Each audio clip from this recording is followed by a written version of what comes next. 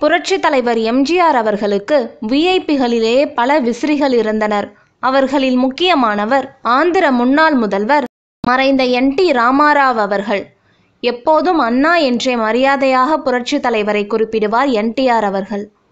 ஆந்திர திரைப்பட உலகில் புரட்சி தலைவர் எம்ஜிஆர் அவர்களைப் போல மக்களால் மிகவும் விரும்பப்படும் ஹீரோவாக திகழ்ந்தவர் என்டிஆர் என்டிஆருக்கு ஆந்திர எம்ஜிஆர் என்ற திரை உலகிலும் மக்களிடமும் பெயர் உண்டு. அரசியலில் முழுமையாக ஈடுபடுவது என்று முடிவு செய்ததும் எம்ஜிஆர் அவர்களிடம் ஆசி வாங்க சென்னைக்கு வந்தார் என் டி ராமாராவ் அவர்கள். ராமாவரம் தோட்டத்தில் மகிழ்ச்சியோடு அவரை வரவேற்று கட்டி தழுவினார் புரட்சி தலைவர். உங்களுக்கு அரசியலில் வெற்றி வாய்ப்பு இருக்கு என்று நம்புகிறீர்களா? என்று கேட்டார் புரட்சி தலைவர். கண்டிப்பாக நம்புகிறேன். உங்கள் ஆசி வேண்டும் என்றார் என்டிஆர். கட்சிக்கு என்ன பெயர் வைக்க போறீங்க? என்று கேட்டார் புரட்சி தலைவர். தெலுங்கு ராஜ்யம் என்றார் என் டி ராமாராவ் அவர்கள். வேண்டாமே தெலுங்கு தேசம் என்று வையுங்க.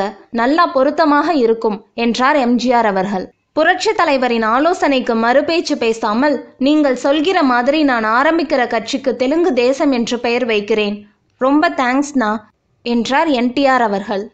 தெலுங்கு தேசம் என்ற கட்சியின் பெயர் ராமாவரம் தோட்டத்தில் தான் உருவானது. என் டி ராமாராவ் அவர்கள் தலைமையில் தெலுங்கு தேசம் கட்சி தேர்தலில் அமோக வெற்றி பெற்றது. வெற்றிக்கு பிறகு பதவியேற்பதற்கு முன் அவருடைய மந்திரிகள் படை சூழ காலை விமானத்தில் ஹைதராபாத்திலிருந்து சென்னைக்கு வந்தார் என்டிஆர் அவர்கள்.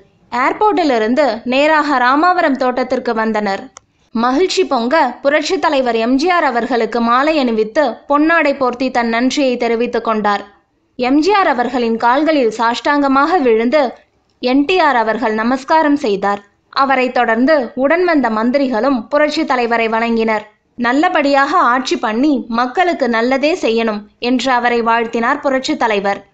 புரட்சி தலைவரிடம் ஆசி பெற்ற பின்னர் ஹைதராபாத் சென்றார் என்டிஆர் அவர்கள். முதலமைச்சராக பதவி ஏற்றுக்கொண்டார் என்டிஆருக்கும் அவரது சக மந்திரிகளுக்கும் அன்று ராமாவரம் தோட்டத்தில் தடபுடலான காலை சிற்றுண்டி அளிக்கப்பட்டது.